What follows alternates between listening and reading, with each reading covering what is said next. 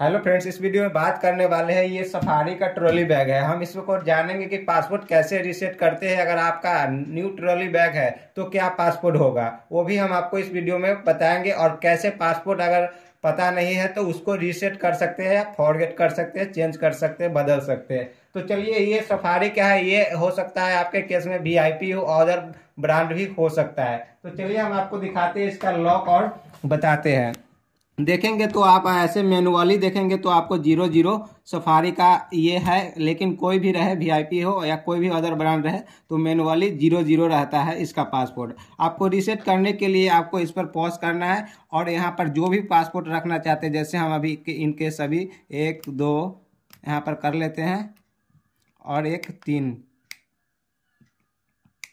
यहाँ पर आपको पासपोर्ट रखने के लिए सेम नंबर नहीं होना चाहिए, क्योंकि सेम नंबर रहेगा तो ये पासपोर्ट सेट नहीं होगा। इसीलिए आपको जैसे कि serial by one, two, three या फोर, फाइव, सिक्स, ऐसे थ्री डिजिट का कोई भी नंबर रख सकते हैं। तो इसको आपको रखने के बाद ये देखेंगे तो ये अनलॉक हो गया है। अब इसको आप चेंज करेंगे, देखिए ये नंबर अगर आप बदल देंगे तो ये यहाँ पर पॉस नहीं होगा। तो इस तरह से ये लॉक हो जाता है। फिर आपको ओपन करने के लिए जो वो पासपोर्ट रखे थे वन टू थ्री वो लाएँगे तो ये ओपन हो जाएगा। तो चलिए आपको हम दिखा देते हैं।